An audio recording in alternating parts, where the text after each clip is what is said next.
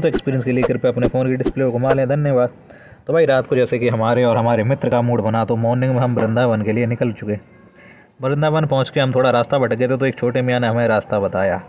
उनसे पूछने के बाद हम चल दिए, भाई, दोबारा बाइक उठा के और यहाँ की गलियों में आप देखोगे ना तो जगह जगह आपको कृष्ण का इतिहास मिल जाएगा। देखो जिस तरीके से दीवारों में तो भाई सुबह से निकले तो भूख लगाई, पहले किया हमने थोड़ा भंडारा। पेट भर के दोबारा अपनी बाइक उठा के चल दिए। भाई, यहाँ की गलियों का एक अलग ही नज़ारा, एकदम मतलब गाँव जैसा सुकून भरा, बिना पॉल्यूशन ज़्यादा अच्छे वो नहीं है।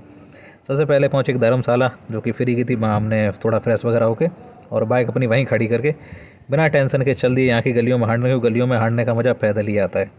शाम को पहुँचे हम यमुना घाट, और यमुना घाट पर बैठे बैठे कब रात हो गई भाई, पता ही नहीं चला, क्योंकि यहाँ के नज़ारे इतने ज़्यादा खूबसूरत थे, क्या ही बोले जाएँ।